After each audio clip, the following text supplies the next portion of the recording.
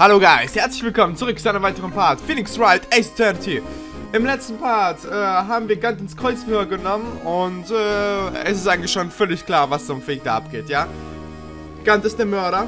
Er wollte es äh, Edgy anscheinend anhängen. Mit Edgys Auto wurde die Leiche transportiert. Lana sollte die Leiche abholen. Äh, aber als ein Zeuge da war, stach sie da rein, um den Verdacht auf sich zu lenken. Und nun brauchen wir einen Beweis dafür, dass er Goodman ermordet hat. Und ich habe mir nochmal die Gerichtsakte angesehen und ich fürchte, wir haben da nicht so wirklich den Beweis für. Noch nicht. Es bringt nichts, Beweise vorzulegen, von denen man selbst nicht überzeugt ist. Nein, euer Ehren. Im Augenblick habe ich keine handfesten Beweise. Hm, sehen Sie, Jay. In diesem, Fa in diesem Fall das Gericht muss Sie für Ihre Anschuldigung gegen den Polizeichef bestrafen. Was? Ich pokere nur, wenn viel auf dem Spiel steht. Offensichtlich war Fortuna heute mal wieder auf meiner Seite. Okay, OJ, ich überlasse den Rest Ihnen.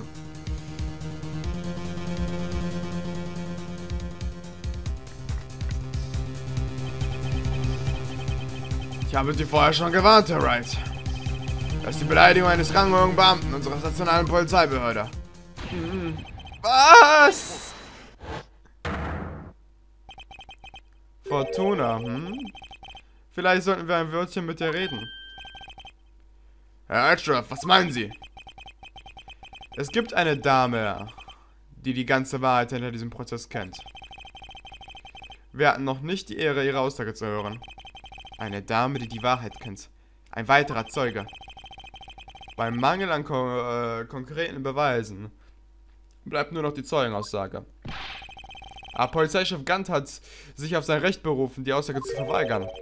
Es gibt noch jemand anderen, einen weiteren Zeugen, den, äh, der alle Fragen beantworten kann, die sich im Prozess ergeben haben.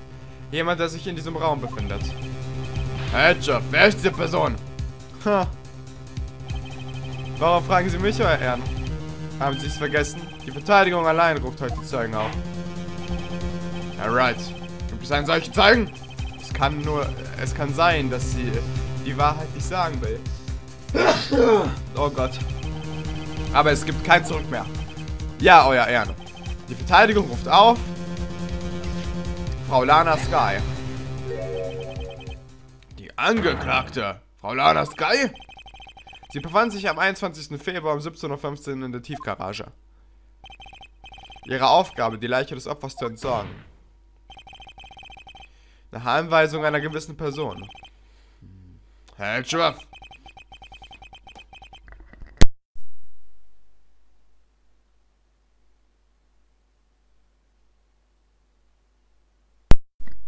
Die Anklage hat keine Einwände, Euer Ehren. Nun gut, das Gericht wird heute eine letzte Pause machen. Wir setzen die Verhandlungen in 15 Minuten in der Aussage der... Äh, äh, das Gericht ist für... Ein Moment. Hä? Polizeichef Gant. Ich dachte, Sie wollen essen gehen. Hören Sie gut zu, Lana. Ich spreche mit Lana. Ich muss es Ihnen wohl nicht sagen, aber wenn Sie Wrights Forderung annehmen, wird das schreckliche Folgen haben. Ganz genau. Ihre Schwester wird für schuldig befunden werden. Für den Mord an Neil Marshall. Aha, weiß ich gut. Natürlich werde ich solche unerhörten Anschuldigungen nicht unterstützen. Wenn Sie solche unerhörten Anschuldigungen nicht unterstützen. Richtig. Nur etwas, woran Sie denken sollten. Also gut. ich habe eine Verabredung zum Mittagessen. Damit hätte schon alles bewiesen, der Fuckboy. Okay, es keine weiteren Einwände gibt, ist das Gericht jetzt vertagt. Wie kann der Richter nur so blind sein? Wie es aussieht, sind wir noch, mit, äh, noch mit von der Partie. Ja, dank ihrer Hilfe, Edgeworth. Dieser Polizeichef ist ein anderes Kaliber, nicht wahr, Jungs? Inspektor Gamschuh. ja, ich bin nicht mehr Inspektor. Oh, stimmt. Tut mir leid. Ah, machen sich keine Sorgen. Ich weiß schon, wo ich jetzt arbeiten werde. In Ihrem Büro.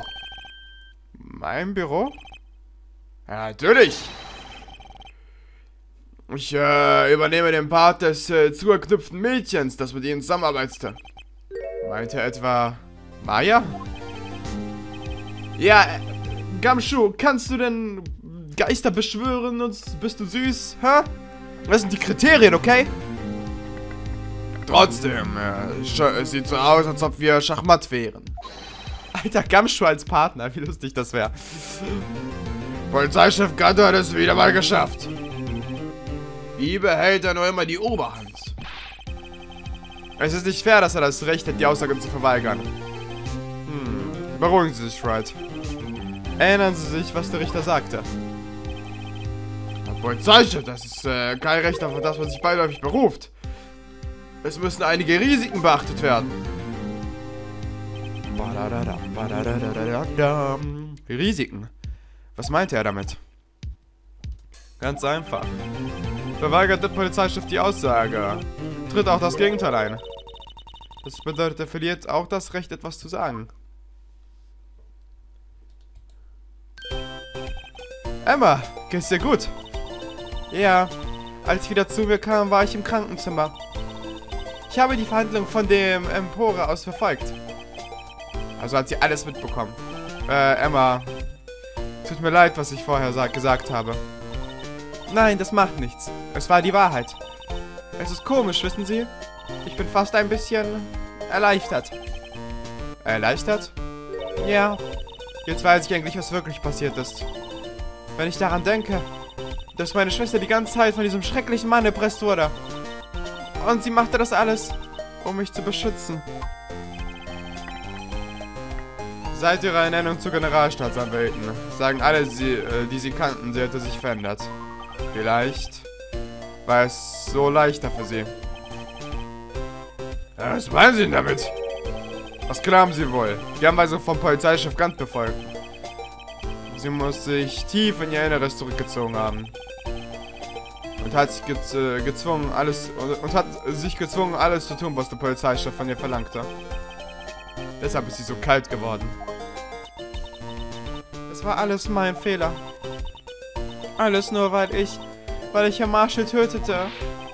Er hat jetzt bloß keine Vorwürfe, wenn du jemand äh, etwas vorwerfen möchtest. Dann die Gesellschaft, Kleine. Ja. Polizeichef Ganz mag äh, alle mit seiner Fälschung hereinlegen. Aber nicht meine Erinnerung. Ich weiß es wieder. Ich stieß Herr Marshall in die Rüstung. Ich... Ich verstehe. Nun, wir gehen jetzt lieber wieder rein. Es ist Zeit für den Schlussakt. Oh, shit. Emma, warte doch. Nein, ich gehe mit Ihnen. Ich möchte dabei sein. Wenn Lana die Wahrheit erzählt. Gehen wir, Right. Es ist Zeit, das Ganze zu beenden. Verdammt richtig. Oh, shit, Leute. Okay, Part vorbei. Bye.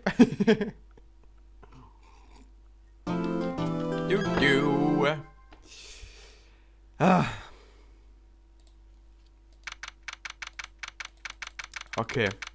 Ich bin sehr gespannt. Was diese junge Frau zu sagen hat. Nun denn. Die angekackte Frau Lana Sky soll in den Zeugenstand treten.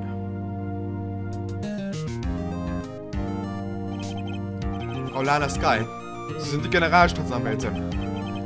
Ich bin mir sicher, dass Ihnen bewusst ist, was von Ihnen erwartet wird. Aber, Herr Edgeworth, Sie wissen doch bereits alles. Sie wissen alles, was ich in äh, den letzten zwei Jahren getan habe. Bitte machen Sie Ihre Aussage, Frau Sky. Und denken Sie daran, Sie sagen unter Eid aus. Wir wollen die Wahrheit hören. Natürlich. Die Wahrheit. Lana, egal was passiert, ich werde immer deine Schwester sein. Nun denn, Ihre Aussage, wenn Sie so nett wären. Erzählen Sie uns zunächst von Ihrem Verhältnis zu Gant. Alles hängt von Ihrer Aussage ab. Sind unsere, unsere einzige Chance, Gant zu überführen. Gant und die Manipulation. Ich habe jahrelang mit Gant zusammengearbeitet. Diese Erpressungstheorie entbehrt jeglicher Grundlage. Ich habe die Beweise vor zwei Jahren ganz allein manipuliert. Als ich Staatsanwalt Marshall Leiche fand, habe ich den Tatort umarrangiert. Meine einzige Motivation war die Verurteilung von Dark. Emma spielte dabei keine Rolle. Hm, wollen Sie wirklich bei dieser Aussage bleiben? Euer Ehren, ich gestehe ein Kapitalverbrechen. Ich, ich gestehe ein Kapitalverbrechen. Natürlich bin ich mir da sicher. Aber Lana... Wenn das stimmt, heißt das, dass Polizeichef ganz nichts damit zu tun hatte. Das habe ich Ihnen doch schon von Anfang an gesagt. Bitte, Herr Wright, Sie müssen ihr helfen. Sie opfert sich für mich. Aber was ist, wenn sie die Wahrheit gesagt hat? Hat sie nicht. Ich kenne doch meine Schwester. Immer wenn sie so steif ist beim Sprechen, dann verheimlicht sie etwas. Tief in ihr drin äh, schreit sie vor lauter Schmerz. Hm. Ja. Das ist jetzt nicht der Zeitpunkt, um meine Meinung in Frage zu stellen. Die Verteidigung darf jetzt mit dem Kreuzfeuer beginnen. Okay. Dann wollen wir mal. Ich habe jahrelang mit Kant zusammengearbeitet. Wie viele Jahre waren es genau? Seit ich Oberinspektorin geworden bin.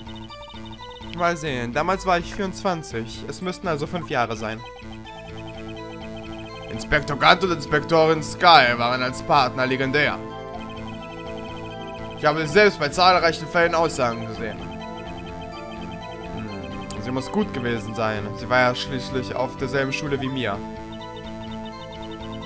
Damon Gant war ein äh, rechtschaffener Inspektor, deswegen... Diese Erpressungstheorie entbehrt jeglicher Grundlage.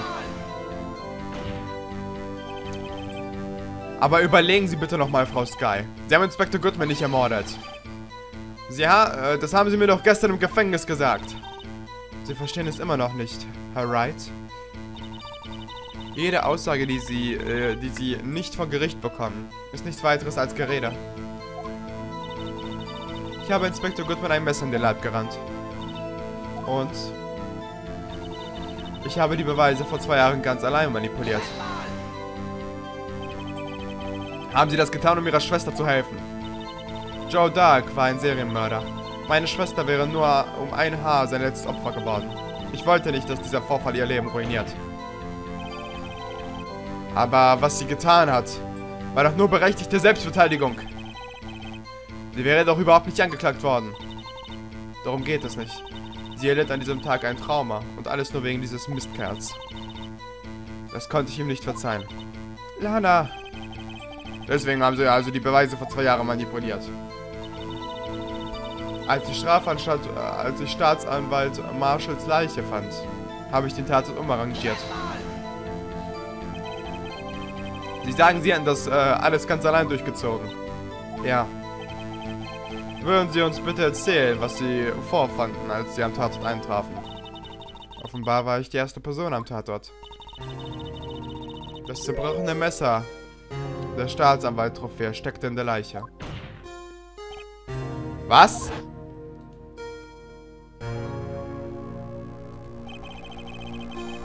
Aber Staatsanwalt Marshall starb bei einem unglücklichen Unfall.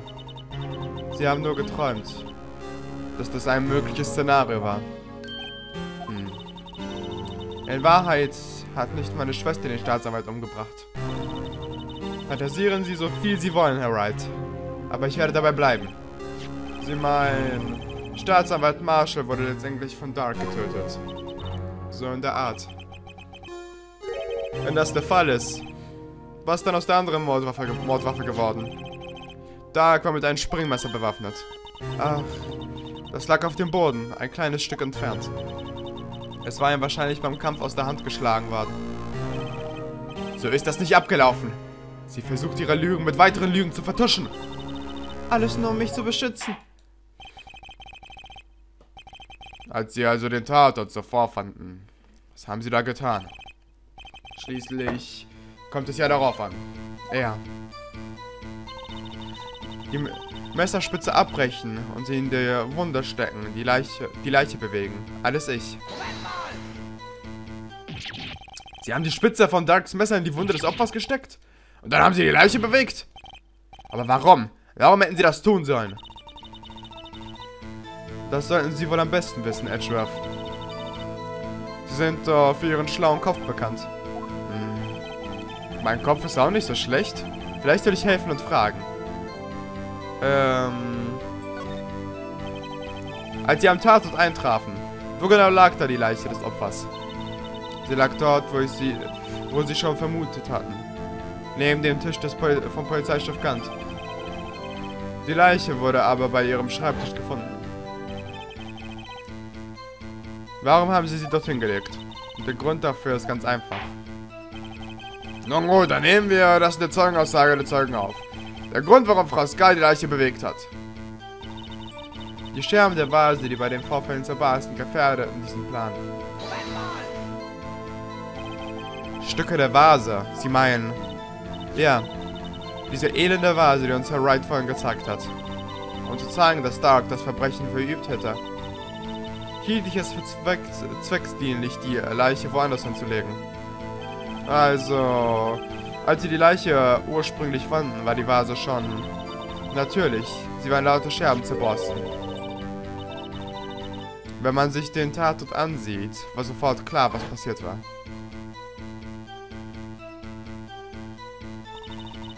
Neil Marshall war tot und Dark war bewusstlos da. Mit anderen Worten, die Vase muss während ihres Kampfes kaputt gegangen sein. Verstehe. Was ist denn immer? Anscheinend ist die Vase an den Zeitpunkt zerbrochen, als das Verbrechen passierte.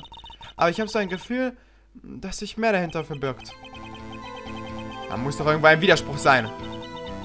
Wie auch immer, ich habe die Manipulation völlig alleine begangen. Meine einzige Motivation war die Vorurteile von Dark. Sebastian gefährdet diesen Plan. Aber äh, auf dieser Vase war ja die Nachricht von Neil Marshall. Äh, er müsste ja erstmal da drauf geschrieben haben. Die Nachricht ist ja verteilt über mehrere, wie sagt man, über mehrere Scherben, wie wir hier sehen. Hm, sieht nach Blut aus. Schickt Polizei was anders. Ja, ja, ja. Ah, der ist lecklich. Das ist seltsam. Dun, dun, dun, dun.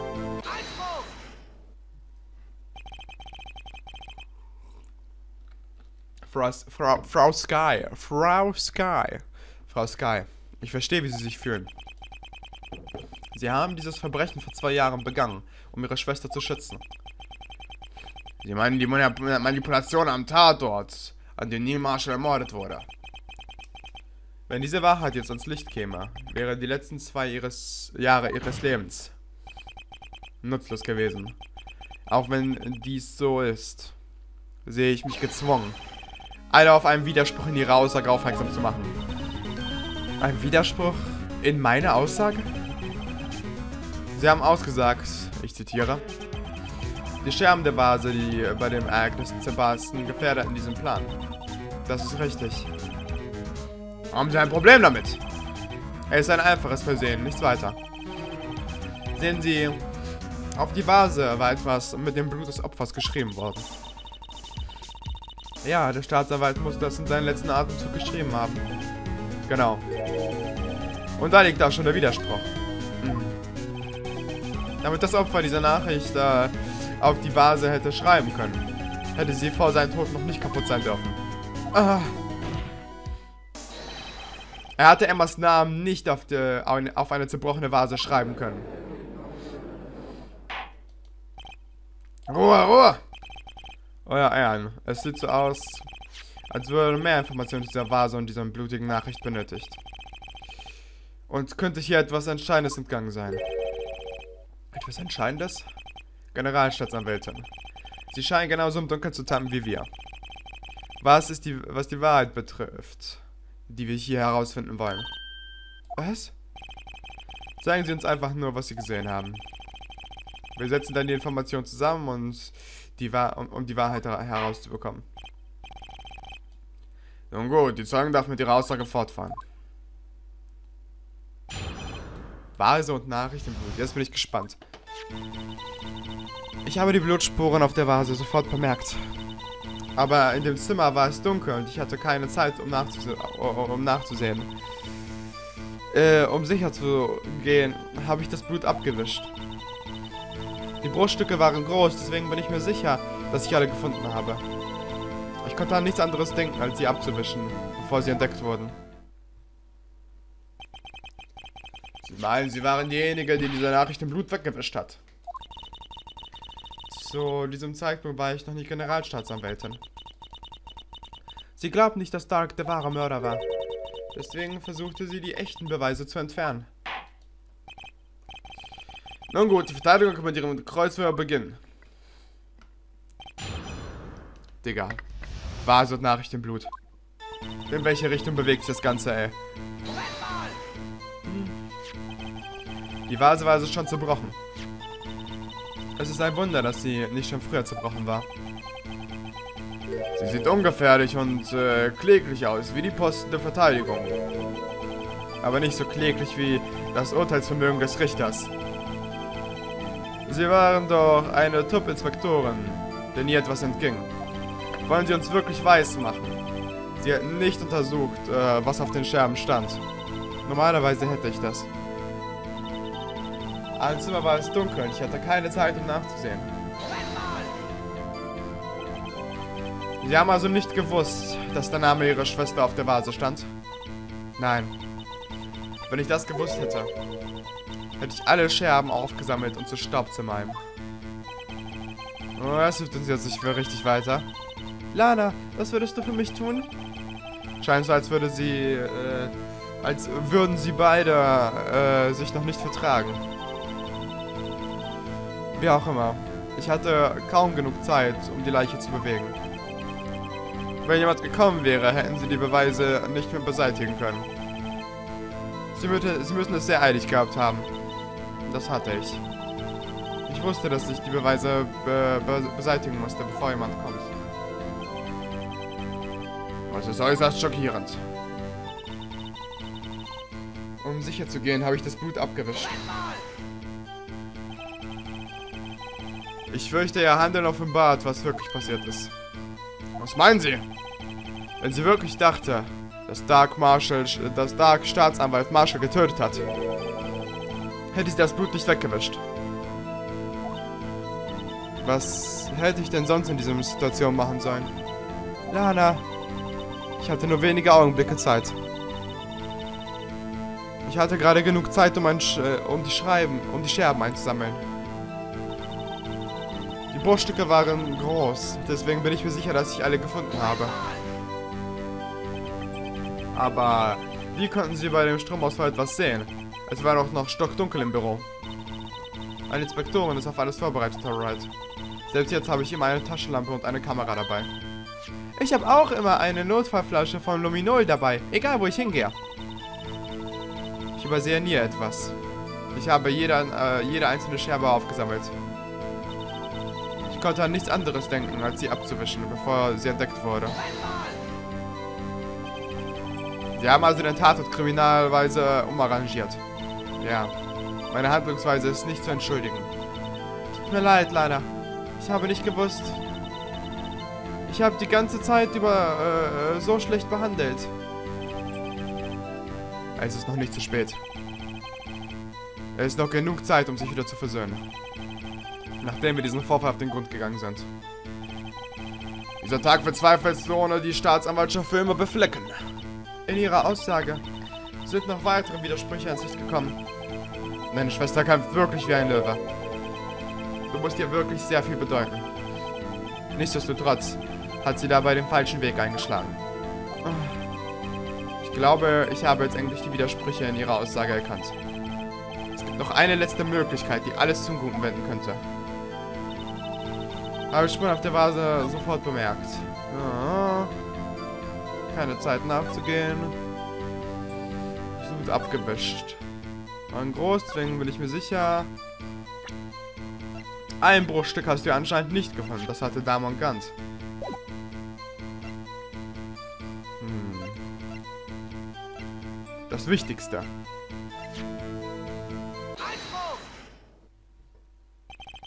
Frau Sky. Hinter dieser Vase verbirgt sich die Wahrheit. sie selbst, äh, die selbst sie nicht kennen. Was? Wir haben das fehlende Stück dieser Vase im Tresor vom Polizeichef Gant gefunden. Im Tresor des Polizeichefs? Aber wie? Ich wusste es. Sie hat es wirklich nicht gewusst. An diesem fehlenden Stück ist sogar noch etwas Beunruhigenderes. Es war... Es war immer noch Blut daran. Aber die Zeugin hat doch gerade ausgesagt, dass sie sämtliche Scherben aufgesammelt und das Blut sofort abgewischt hat. Ja, wofür es nur eine einzige Erklärung gibt. An dem Abend, als Staatsanwalt Marshall ermordet wurde, waren sie nicht die Erste, die am Tatort eintraf. Gant war schon vor ihnen da.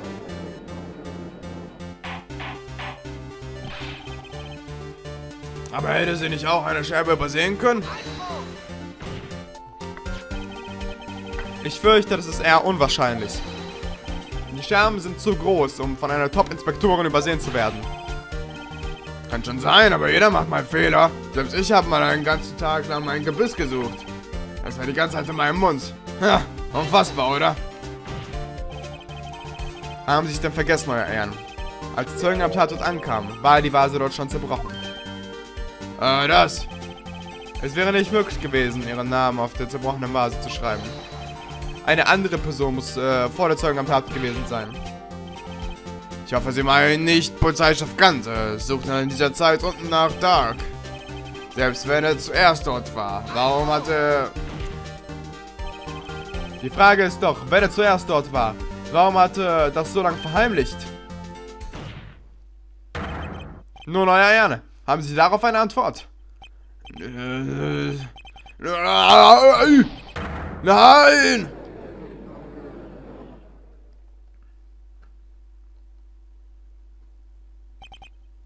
Moment. Ich stehe ja nicht vor Gericht.